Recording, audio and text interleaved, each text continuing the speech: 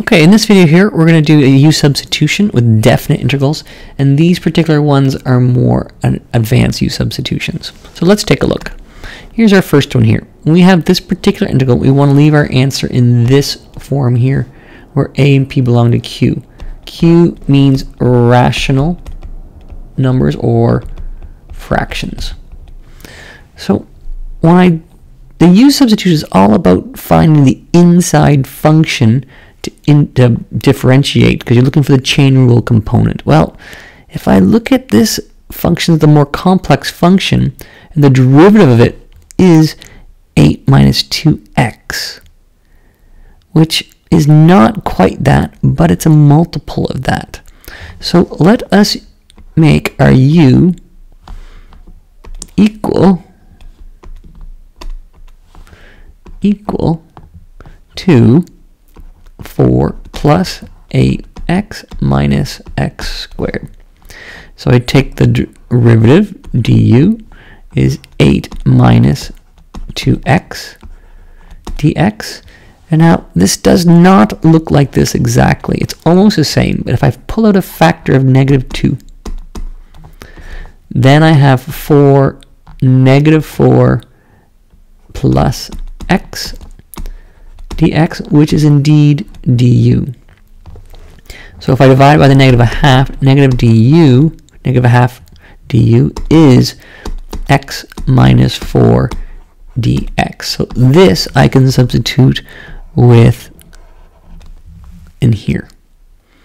And so what I can say is I know then that negative 1 half du is 1 over u, since this is all of u.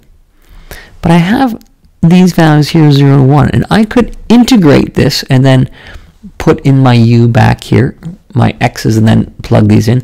But I can also change these values here. I'm going to find u at 0. Because u is a function of x. When I plug 0 in for x, I end up with 4. And so I'm going to make this, oh, on the bottom, I'm going to make 0 really is u being 4. Similarly, u is a function of x is 1. That's going to be 4 plus 8 minus 1, which is 11.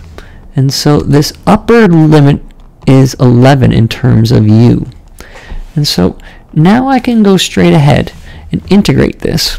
So I have negative 1 half times the natural logarithm of u. And that's going to be from 4 to 11. Well, doing my rules for definite integrals, that's the natural logarithm of 11 minus the natural logarithm of 4 but if I look at my question, it says to leave it in this form here.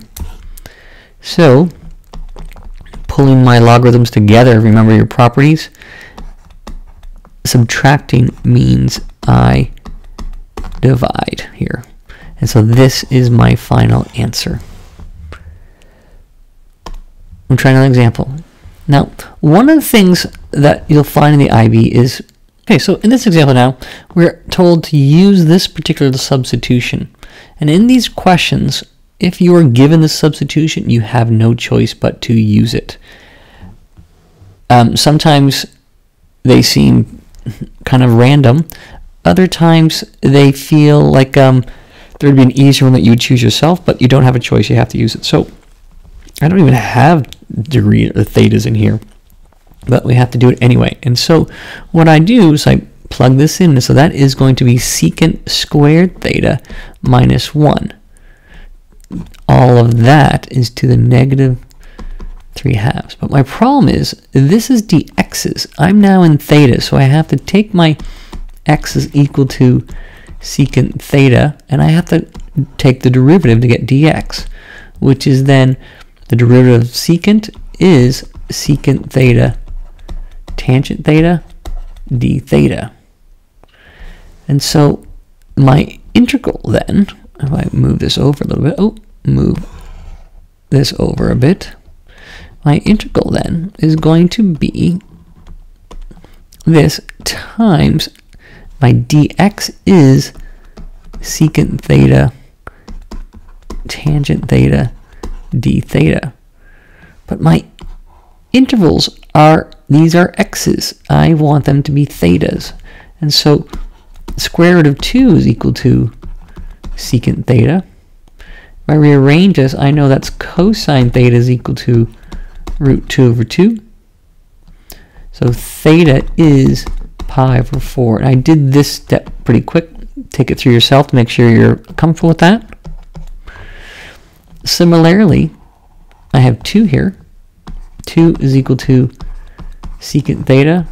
So switch it around to cosine, I get 1 half. And so theta for that is pi over 3. This is pi over 3. And so now I seem to have a great big giant mess. But if I remember from my identities, I know that this is true. And if I sub take this 1 and subtract it over, I can say that from pi by 4 to pi by 3, this is, this here is tangent squared theta to the negative 3 over 2 times secant theta tangent theta d theta. Now it seems to be a complete mess, but let's keep on going and see what we come up with.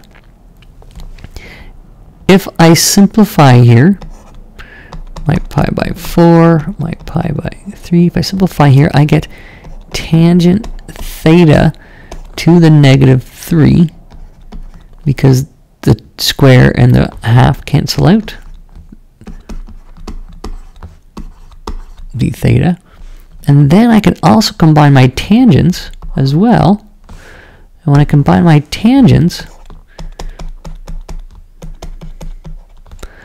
I get tangent, there's a 1 here, I add my exponents, I get tangent theta to the negative 2 secant theta d theta. Now it's tighter, but it doesn't look very helpful to me yet. When I'm in doubt, I always try and change things up to sines and cosines. But oh, before I do that, I can I can recognize this as cotangent, or let's go right straight to sines and cosines. Here's my intervals. If I sine and cosine that, I get sine over cosine.